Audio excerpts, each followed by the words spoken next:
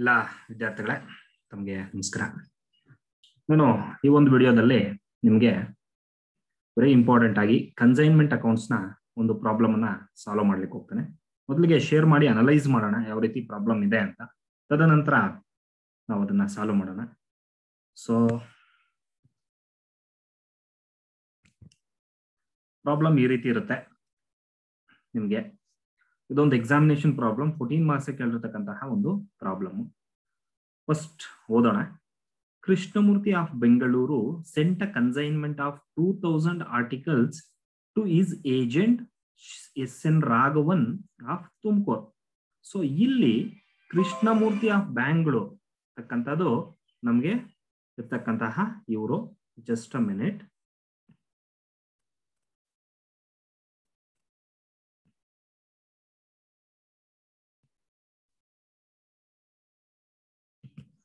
ಇಲ್ಲಿ ಕೃಷ್ಣಮೂರ್ತಿ ಬೆಂಗಳೂರು ಅಂತಕ್ಕಂಥ ಒಂದು ಕನ್ಸೈನರ್ ಅಥವಾ ಪ್ರಿನ್ಸಿಪಲ್ ಅಂತೀವಿ ಅಥವಾ ಓನರ್ ಅಂತ ಕರಿತೀವಿ.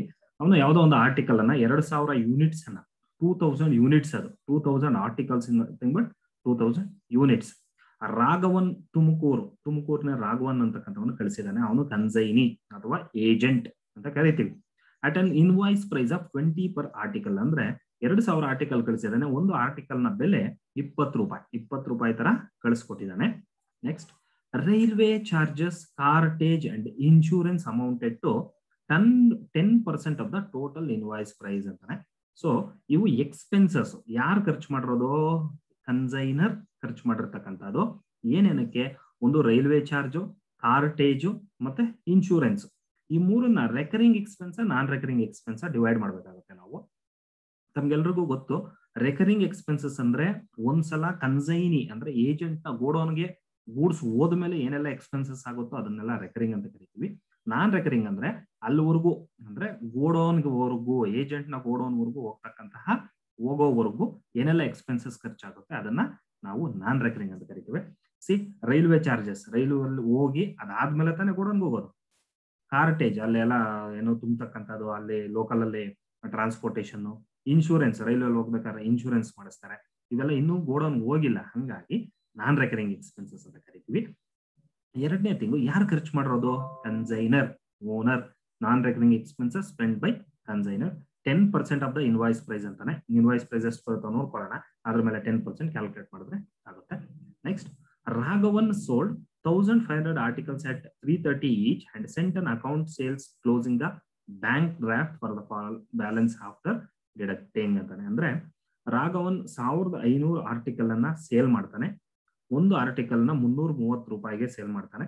ಅದೆಲ್ಲ ಆದ್ಮೇಲೆ ಅಕೌಂಟ್ ಅನ್ನ ಕಳಿಸ್ಕೊಡ್ತಾನೆ. ಅಂದ್ರೆ ಅದನ್ನೆಲ್ಲ ಏನೇನು ಎಷ್ಟು ಸೇಲ್ ಆಗಿದೆ, ಏನೆಲ್ಲ ಎಕ್ಸ್ಪೆನ್ಸಸ್ ಆಗಿದೆ ಅಂತಕ್ಕಂಥ ಒಂದು ಅಕೌಂಟ್ಸ್ ಅನ್ನ ಕಳಿಸ್ಕೊಡ್ತಾನೆ.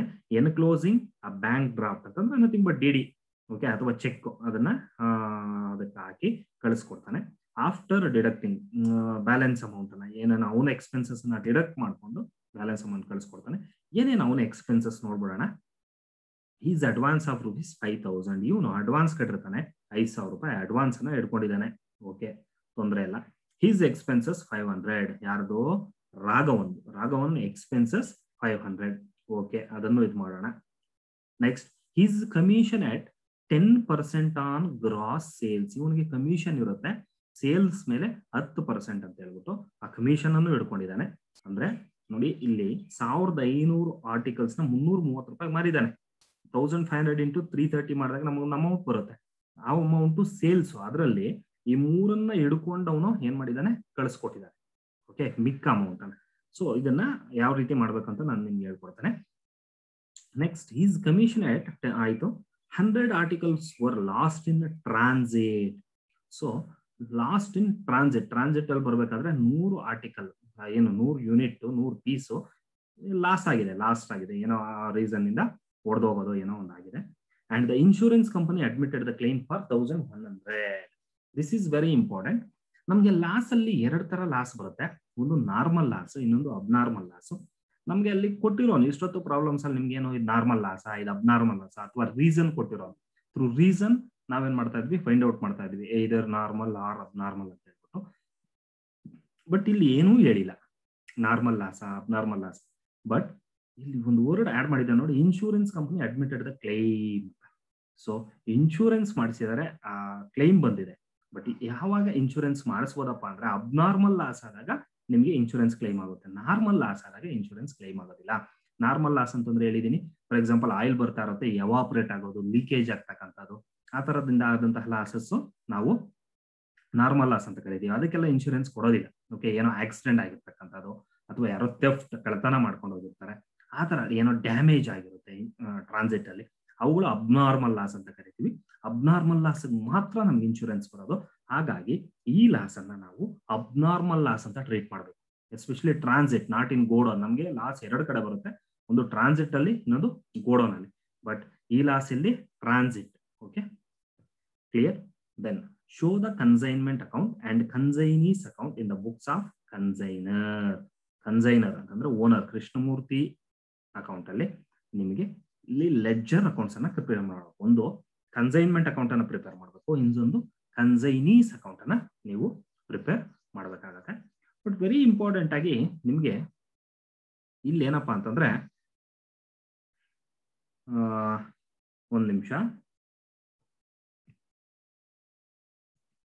ಎಸ್ ಮೊದಲಿಗೆ ನಾವು ಕನ್ಸೈನ್ಮೆಂಟ್ ಅಕೌಂಟ್ ಅನ್ನ ಪ್ರಿಪೇರ್ ಮಾಡಬೇಕಾದ್ರೆ ಕ್ಲೋಸಿಂಗ್ ಸ್ಟಾಕ್ ಅನ್ನ ಕ್ಯಾಲ್ಕುಲೇಟ್ ಮಾಡಬೇಕಾಗುತ್ತೆ. ನೋಡಿ, ನಿಮಗೆ ತೋರಿಸ್ತೇನೆ. ಕನ್ಸೈನ್ಮೆಂಟ್ ಅಕೌಂಟ್ ಯಾವ ರೀತಿ ಪ್ರಿಪೇರ್ ಮಾಡಬೇಕು ಅಂತ. ಆಲ್ರೆಡಿ ನಿಮ್ಗೆ ಎಕ್ಸ್ಪ್ಲೈನ್ ಮಾಡಿದ್ದೇನೆ ನಾನು. ಈ ರೀತಿ ಇರುತ್ತೆ consignment account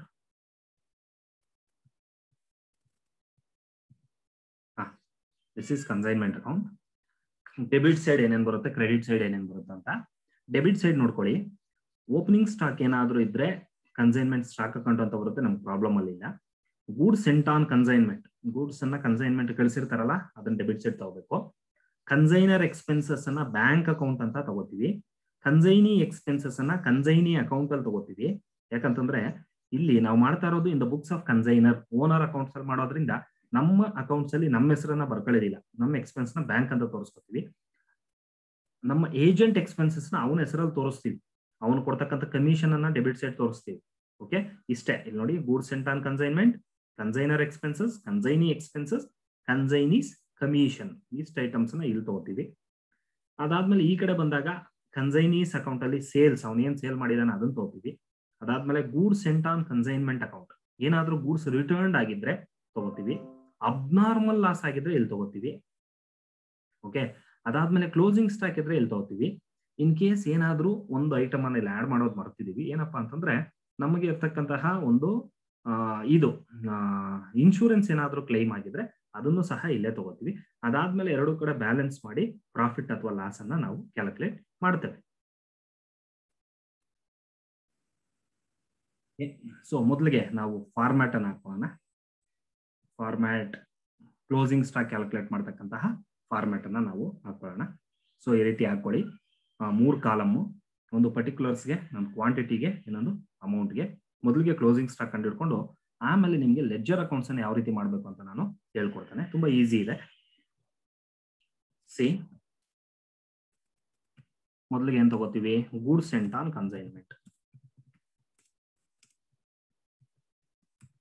goods sent on consignment ನಮಗೆ ಎಷ್ಟು ಗೂಡ್ಸಪ್ಪ ಇಲ್ಲಿ ಸೆಂಟ್ ಆಗಿರೋದು? ನೋಡಿ ಪ್ರಾಬ್ಲಮ್ ನೋಡ್ಕೊಳ್ಳಿ ಬೇಕಾರೆ ನೀವು.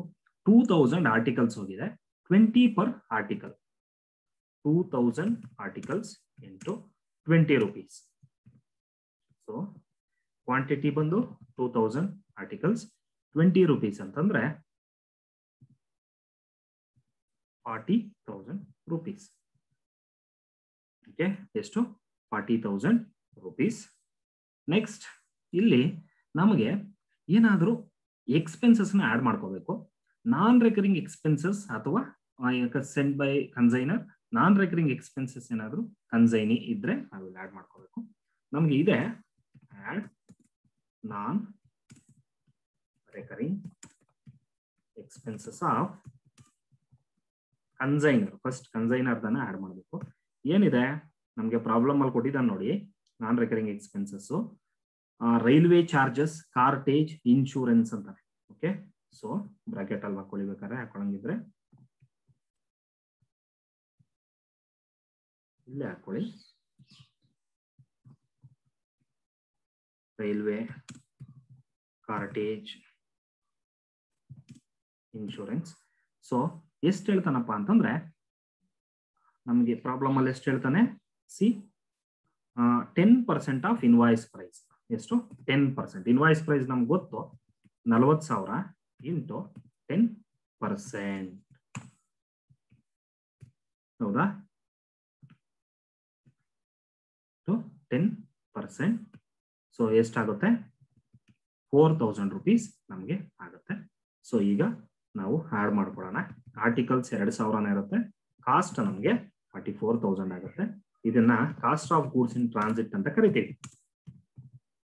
ಗೂಡ್ಸ್ ಇನ್ ಟ್ರಾನ್ಸಿಟ್ ನೆಕ್ಸ್ಟ್ ನಾವೇನಪ್ಪ ಮಾಡ್ಬೇಕಂದ್ರೆ ಇಲ್ಲಿ ಏನಾದ್ರೂ ಲಾಸಸ್ ಆಗಿದೆಯಾ? ಟ್ರಾನ್ಸಿಟ್ ಅಲ್ಲಿ ಆಗಿರತಕ್ಕಂಥ ಲಾಸ್ ಏನಾದ್ರೂ ಇದ್ರೆ ನಾವಿಲ್ಲಿ ತಗೋಬೇಕಾಗತ್ತೆ. ಸೊ ನಮ್ಗೆ ಗೊತ್ತು ಅಬ್ನಾರ್ಮಲ್ ಲಾಸ್ ಆಗಿದೆ ಟ್ರಾನ್ಸಿಟ್ ಅಲ್ಲಿ ಅದನ್ನ ಲೆಸ್ ಮಾಡ್ಕೋಬೇಕು. ನಮ್ಗೆ ಇದು ನಾರ್ಮಲ್ ಲಾಸ್ ಅಬ್ನಾರ್ಮಲ್ ಲಾಸ್ ಅಂತ ಹೆಂಗ್ ಗೊತ್ತಾಗುತ್ತೆ ಸರ್ ಅಂತ ಕೇಳ್ತೀರಾ? ಸೊ ಯೂಶಲಿ ಕಂಡೀಷನ್ ಕೊಟ್ಟಿರ್ತಾನೆ, ಯಾವ ರೀತಿ ಲಾಸ್ ಆಯ್ತು ಅಂತ. ಅದ್ರ ಬೇಸಿಸ್ ಮೇಲೆ ನಾವು ಡಿಸೈಡ್ ಮಾಡ್ಬೋದು ಇದರ್ normal loss or abnormal loss ಅಂತ. ಬಟ್ ಈ ಪ್ರಾಬ್ಲಮ್ ಅಲ್ಲಿ ಯಾವ ರೀತಿ ಕಂಡೀಷನ್ ಕೊಟ್ಟಿಲ್ಲ ಏನು ಲೀಕೇಜ್ ಆಯ್ತಾ, ಒಡೆದು ಆಯ್ತಾ ಟೆಫ್ಟ್ ಆಯ್ತಾ ಆತರ ಏನೂ ಕಂಡೀಷನ್ ಕೊಟ್ಟಿಲ್ಲ. ಅದ್ರ ಬದಲು ಏನಪ್ಪ ಹೇಳಿದಾನೆ ಅಂತಂದ್ರೆ ಇನ್ಶೂರೆನ್ಸ್ ಕ್ಲೈಮ್ ಆಗಿದೆ ಅಂತ ಹೇಳ್ತಾನೆ. ಇನ್ಶೂರೆನ್ಸ್ ಕ್ಲೈಮ್ ಆಗಿದೆ ಅಂತಂದ್ರೆ ಅದರ ಅರ್ಥ ನಮಗೆ ಅಬ್ನಾರ್ಮಲ್ ಲಾಸ್ ಅಂತ. ಅಬ್ನಾರ್ಮಲ್ ಲಾಸ್ ಆದ್ರೆ ಇನ್ಶೂರೆನ್ಸ್ ಕ್ಲೈಮ್ ಆಗೋದು?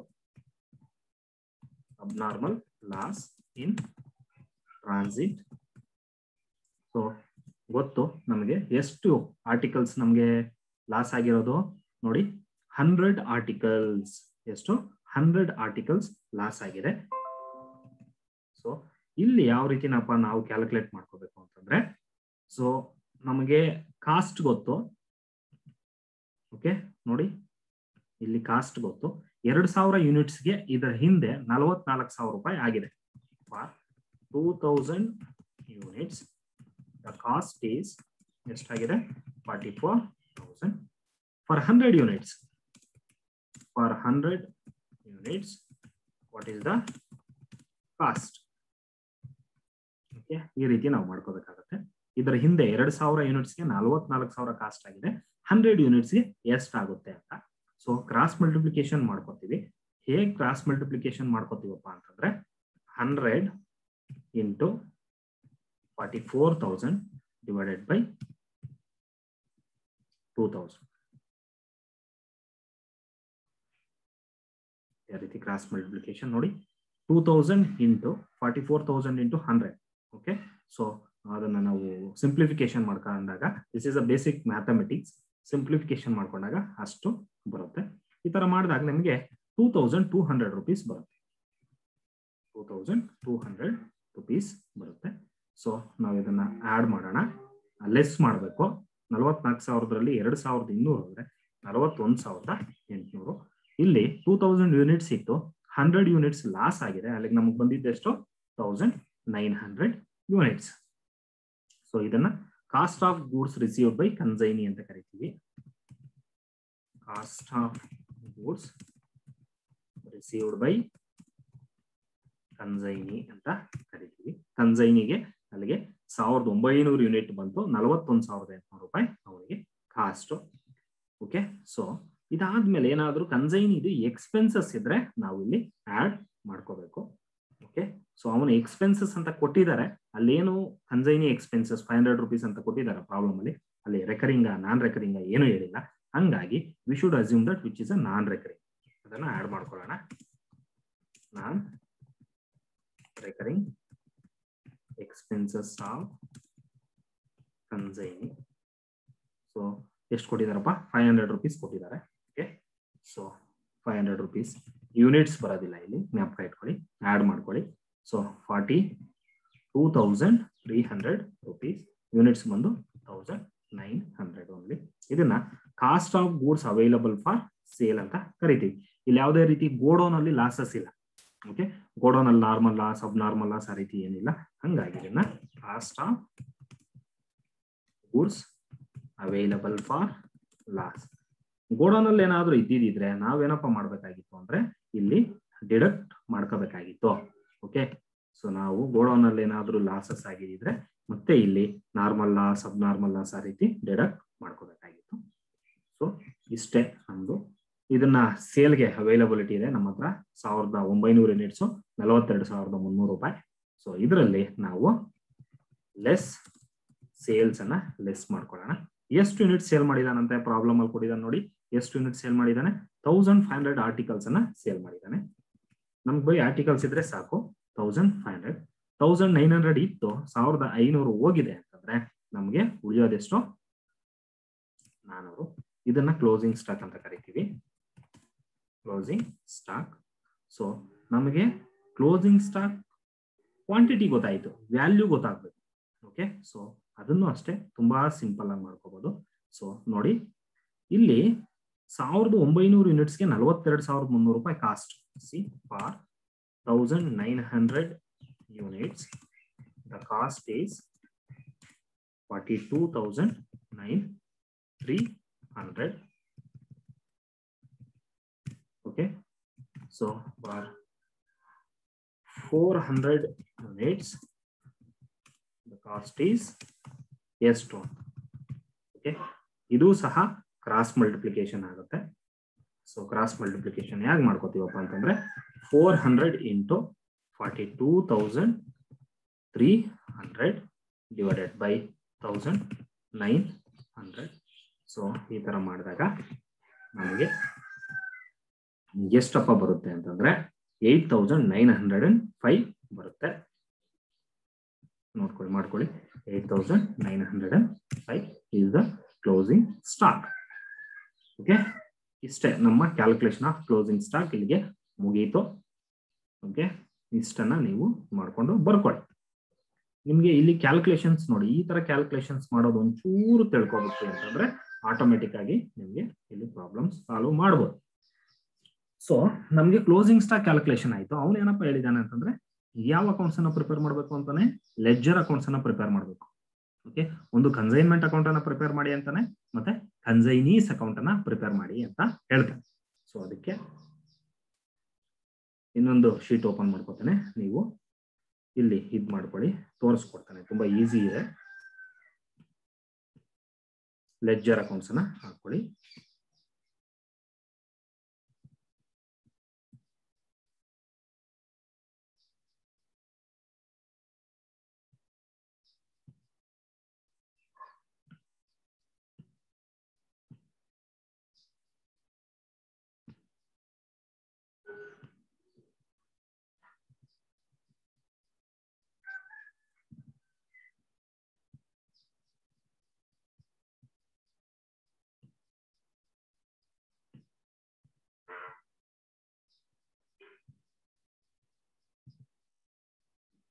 ಓಕೆ ಯಾರ ಬುಕ್ಸ್ ಅಲ್ಲಿ. In the books of consignor ಯಾರಿಲ್ consignor ನಮ್ಗೆ? Mister Krishnamurthy Bengaluru. The books of Krishnamurthy ಅಂತ ಕರಿತೀವಿ. ಇದೇನ್ ಅಕೌಂಟು ಕನ್ಸೈನ್ಮೆಂಟ್ ತುಂಬಾ ಈಸಿ ಇದು ತುಂಬಾನೇ ವೆರಿ ಡೆಡ್ ಈಸಿ ಪ್ರಾಬ್ಲಮ್ಸ್ ಮಾಡ್ತಕ್ಕಂಥದ್ದು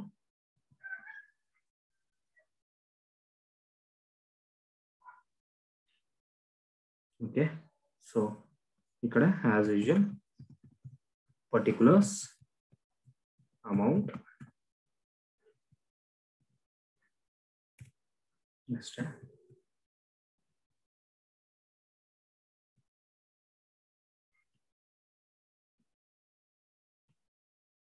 ಇಷ್ಟೇ. ಸೊ ಮೊದಲಿಗೆ ಓಪನಿಂಗ್ ಸ್ಟಾಕ್ ಏನಾದ್ರು ಇದ್ರೆ ತಗೋಬೇಕು. ಇಲ್ಲ, ಇಲ್ಲಿ ಯಾವುದೇ ರೀತಿ ಓಪನಿಂಗ್ ಸ್ಟಾಕ್ ಇಲ್ಲ.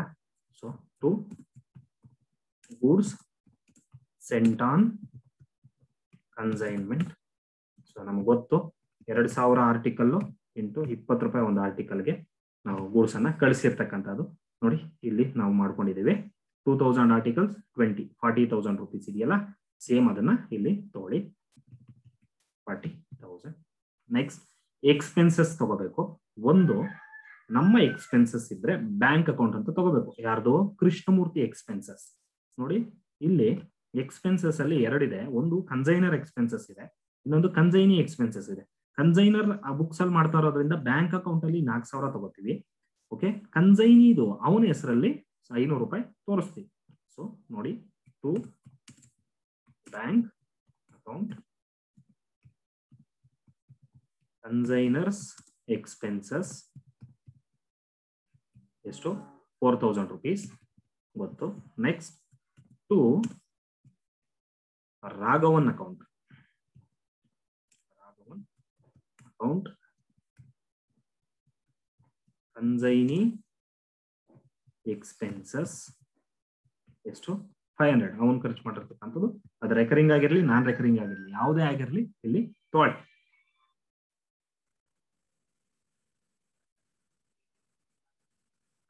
ಒಂದು ನಿಮಿಷ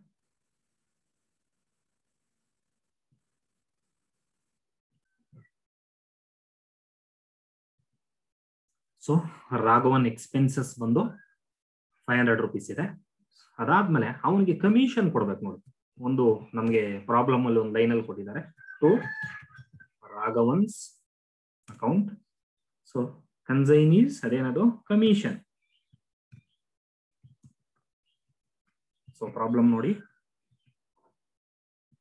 ಪ್ರಾಬ್ಲಮ್ ಅಲ್ಲಿ ಹೇಳ್ತಾನೆ is commission at ten percent on gross sales ಅಂತ.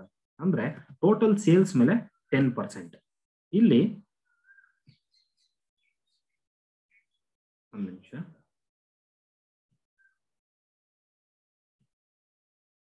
ಸೇಲ್ಸ್ ಎಷ್ಟಾಗಿದೆ? ನೋಡಿ thousand five hundred units thousand five hundred articles ಅನ್ನ ಸೇಲ್ ಮಾಡಿದ್ದಾನೆ.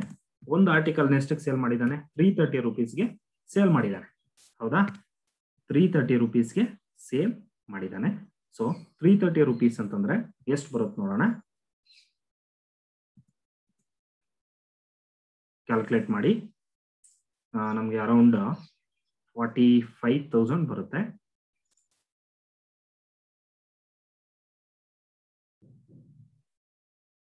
One minute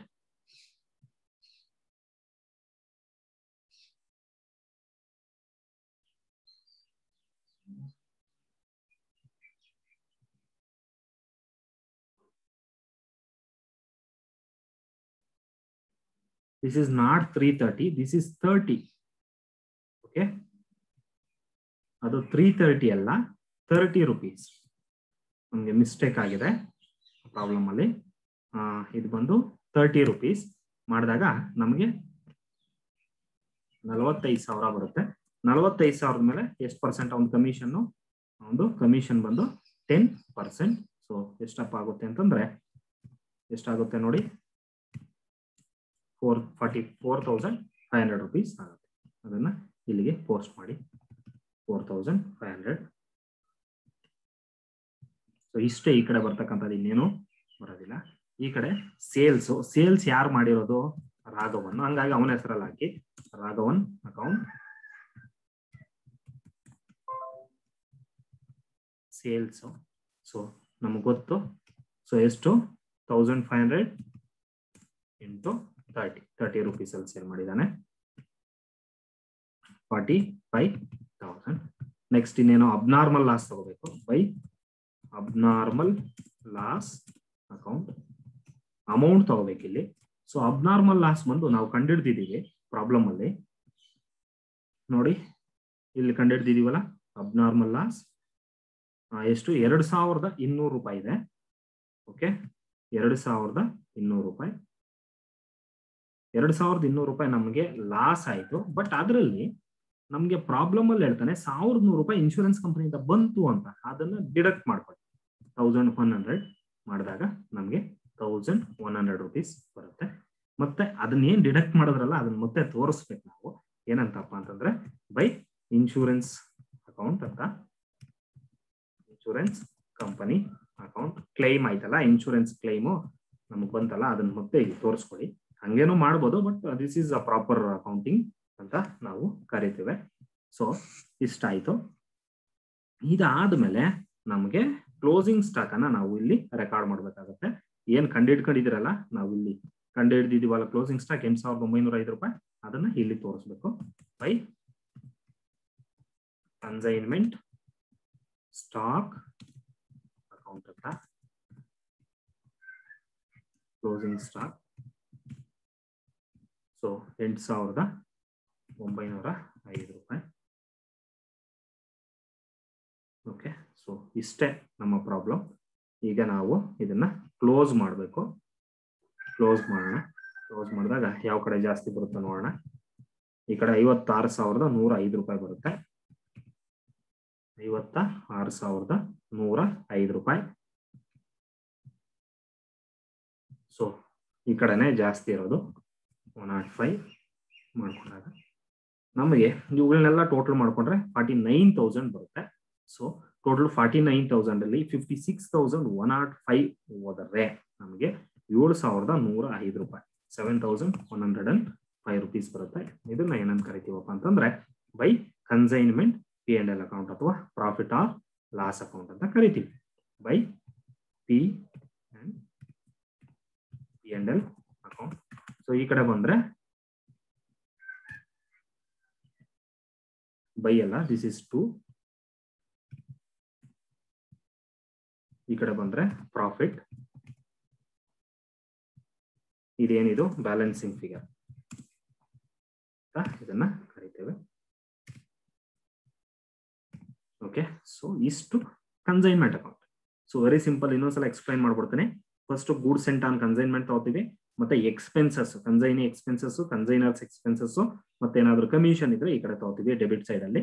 ಈ ಕಡೆ ನಮಗಾಗದಂತ ಸೇಲ್ಸ್ ಅದಾದ್ಮೇಲೆ ಏನಾದ್ರು ಲಾಸ್ ಆಗಿದ್ರೆ ಅಬ್ನಾರ್ಮಲ್ ಲಾಸ್ ಆಗಿರ್ಬೋದು, ಅದನ್ನ ತಗೋತೀವಿ. ಮತ್ತೆ ಇನ್ಶೂರೆನ್ಸ್ ಬಂದ ಅಮೌಂಟ್ ಅನ್ನ ನಾವು ಇನ್ಶೂರೆನ್ಸ್ ಕಂಪನಿ ಅಕೌಂಟ್ ಅಲ್ಲಿ ತೋರಿಸಿರ್ತೀವಿ. ಸೊ ಮತ್ತೆ ಕ್ಲೋಸಿಂಗ್ ಸ್ಟಾಕ್ ಅನ್ನ ಇಲ್ಲಿ ತಗೋತೀವಿ. ಅದಾದ್ಮೇಲೆ ಎರಡೂ ಕಡೆ ನಾವು ಬ್ಯಾಲೆನ್ಸ್ ಮಾಡ್ತೇವೆ, ಅಥವಾ ಟೋಟಲ್ ಮಾಡ್ತೇವೆ. ಸೊ ಯಾವ ಕಡೆ? ಈ ಕಡೆ ಏನಾದ್ರು ಬ್ಯಾಲೆನ್ಸಿಂಗ್ ಫಿಗರ್ ಬಂದ್ರೆ ಪ್ರಾಫಿಟ್ ಈ ಕಡೆ ಬ್ಯಾಲೆನ್ಸಿಂಗ್ ಫಿಗರ್ ಬಂದ್ರೆ ಲಾಸ್ ಅಷ್ಟೇ ಸಿಂಪಲ್ ಸೊ ಇದಾದ ಮೇಲೆ ನಾವು ಇನ್ನೊಂದು ಅಕೌಂಟ್ ಪ್ರಿಪೇರ್ ಮಾಡಿ ಅಂತ ಹೇಳ್ತಾರೆ. ಏನಪ್ಪಾ ಅಕೌಂಟ್ ಅಂತಂದ್ರೆ? ಕನ್ಸೈನೀಸ್ ಅಕೌಂಟ್ ಅಂತ. ಓಕೆ ಏನ್ ಅಕೌಂಟ್ ಮಾಡ್ಬೇಕು ನಾವು? ಕನ್ಸೈನೀಸ್ ಅಕೌಂಟ್ ಅನ್ನ ಪ್ರಿಪೇರ್ ಮಾಡಬೇಕು. ಓಕೆ ಸೇಮ್ ಇದೇ ರೀತಿ ಹಾಕೊಳ್ಳಿ. ತುಂಬಾ ಈಸಿ ನಿಮ್ಗೆ ಇದನ್ನ ಯಾವ ರೀತಿ ಮಾಡ್ಬೇಕಂತ ನಾನು ಹೇಳ್ಕೊಟ್ಬಿಡ್ತೇನೆ.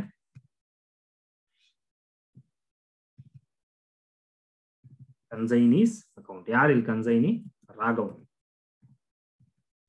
ಅಥವಾ ಇದನ್ನ ರಾಘವನ್ಸ್ ಅಕೌಂಟ್ ಅಂತಾನು ಕರಿಬಹುದು ರಾಘವನ್ಸ್ ಅಕೌಂಟ್ ಅಂತಾನು ಕರಿಬಹುದು ಸೊ ತುಂಬಾ ಈ ಸಿಂಪಲ್ ಇದು. ಏನ್ ನೀವು ಕನ್ಸೈನ್ಮೆಂಟ್ ಅಕೌಂಟ್ ಮಾಡಿದಿರಲ್ಲ ಅದರ ಬೇಸಿಸ್ ಮೇಲೆ ಈ ಅಕೌಂಟ್ ಅನ್ನ ಮಾಡೋದು. ತುಂಬಾ ಸಿಂಪಲ್ ನೋಡ್ಕೊಳ್ಳಿ. ಈಗ ಇದು ಡೆಬಿಟ್ ಸೈಡ್ ಯಾವುದು? Consignment account.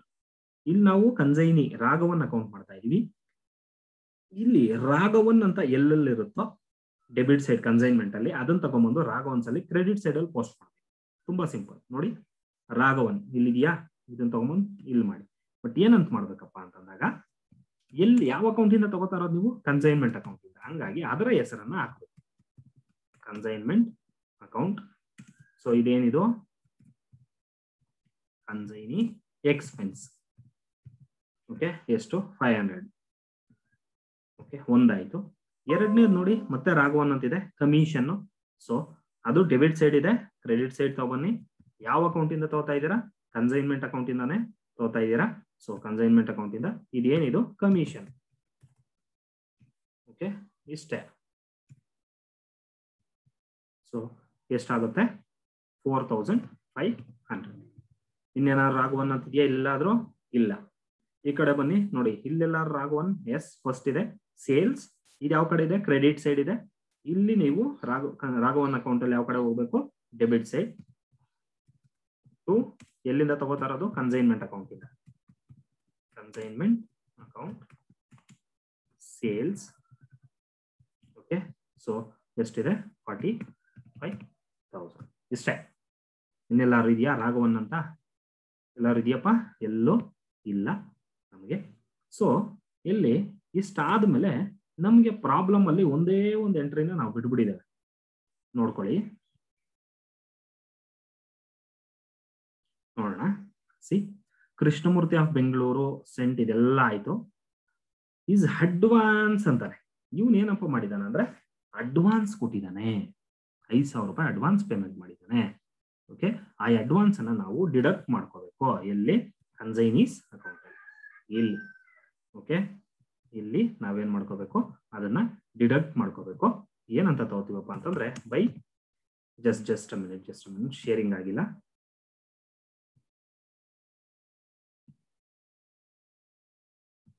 ಸೊ ನೋಡಿ, ಇಲ್ಲಿ ಯಾವ ಅಕೌಂಟ್ ಅಲ್ಲಿ? ಕನ್ಸೈನಿ ಅಕೌಂಟ್ ಅಲ್ಲಿ ನಾವು ಬೈ ಬ್ಯಾಂಕ್ ಅಕೌಂಟ್ ಅಂತ ತಗೊಂಡು, ಅವನ ಅಡ್ವಾನ್ಸ್ ಏನಿದೆ, ಆ ಅಡ್ವಾನ್ಸ್ ಅನ್ನ ನಾವು ಇಲ್ಲೇ ಇಟ್ಕೋಬೇಕು. ಫೈವ್ ತೌಸಂಡ್ ಅಂದ್ರೆ ಇಷ್ಟೇ, ಸಿಂಪಲ್ ಈ ಅಕೌಂಟ್ ಎಕ್ಸ್ಪ್ಲೈನ್ ಮಾಡ್ಬಿಡ್ತಾನೆ. ಟೋಟಲ್ ಅವ್ನು ಮಾಡಿದ ಸೇಲ್ಸ್ ಎಷ್ಟು? ನಲವತ್ತೈದು ಸಾವಿರ. ಅದರಲ್ಲಿ ಅವನ ಅವನ ಹತ್ರ ಇದ್ದ ಅಡ್ವಾನ್ಸ್ ಇಟ್ಕೊಂಡಿದ್ದಾನೆ, ಅವ್ನು ಬರ್ಬೇಕಾಗಿರೋ ಕಮಿಷನ್ ಇಟ್ಕೊಂಡಿದ್ದಾನೆ ಅವ್ನಿಗೆ ಬರ್ಬೇಕಾಗಿರೋ ಎಕ್ಸ್ಪೆನ್ಸಸ್ ಇಟ್ಕೊಂಡಿದ್ದಾನೆ, ಮಿಕ್ಕಿದ್ದನ್ನ ಅವನಿಗೆ ಕನ್ಸೈನ್ಮೆಂಟ್ ಕನ್ಸೈನರ್ಗೆ ಕಳಿಸ್ಕೊಡ್ತಾನೆ. ಅಷ್ಟೇ. ಸೊ ನೋಡಿ, ನಲವತ್ತೈದು ಸಾವಿರ. ಟೋಟಲ್ ನಲವತ್ತೈದು ಸಾವಿರದಲ್ಲಿ ಟೋಟಲ್ ಟೆನ್ ತೌಸಂಡ್ ಹೋದ್ರೆ thirty thirty five thousand so thirty five ತೌಸಂಡನ್ನು ನಾವು ಏನಂತ ಕರಿತೀವಪ್ಪ ಅಂದ್ರೆ ಬೈ ಬ್ಯಾಲೆನ್ಸ್ ಕ್ಯಾರಿ ಡೌನ್ ಅಂತ ಕರಿತೀವಿ. ಬ್ಯಾಲೆನ್ಸಿಂಗ್ ಫಿಗರ್ ಇಷ್ಟು ಅಮೌಂಟ್ ಅನ್ನ ಯಾರೋ ರಾಗವನ್ನು ಯಾರು ಕೊಡಬೇಕು? ಅವರ ಓನರ್ಗೆ ಅಂದ್ರೆ ನಥಿಂಗ್ ಬಟ್ ಅವರ ಕನ್ಸೈನಿಗೆ ಕನ್ಸೈನರ್ಗೆ ಕಳಿಸ್ಕೊಡ್ಬೇಕು. ಓಕೆ ಎಷ್ಟು? ತರ್ಟಿ ಫೈವ್ ತೌಸಂಡ್ ಅವ್ನು ಸೇಲ್ ಮಾಡಿದ್ದೆಷ್ಟು ನಲ್ವತ್ತೈದು ಸಾವಿರ ರೂಪಾಯಿ. ಸೇಲ್ ಮಾಡ್ದ. ಐನೂರು ರೂಪಾಯಿ. ಅವನ ಎಕ್ಸ್ಪೆನ್ಸಸ್ ಇಟ್ಕೊಂಡ. ಅವನು ಕಮಿಷನ್ ಹಾಕೋರೆ ಸಾವಿರ ಇಟ್ಕೊಂಡ. ಅವನು ಅಡ್ವಾನ್ಸ್ ಕೊಟ್ಟಿದ್ದು ಐದು ಸಾವಿರ ಇಟ್ಕೊಂಡು ಇನ್ನು ಮೂವತ್ತೈದು ಸಾವಿರ ಅವನಿಗೆ ಬ್ಯಾಲೆನ್ಸ್ ಅನ್ನ ಕೊಡ್ಬೇಕು. ಅದನ್ನ ಬ್ಯಾಲೆನ್ಸ್ ಕ್ಯಾರಿ ಡೌನ್ ಅಂತ ನಾವು ಕರಿತೀವಿ.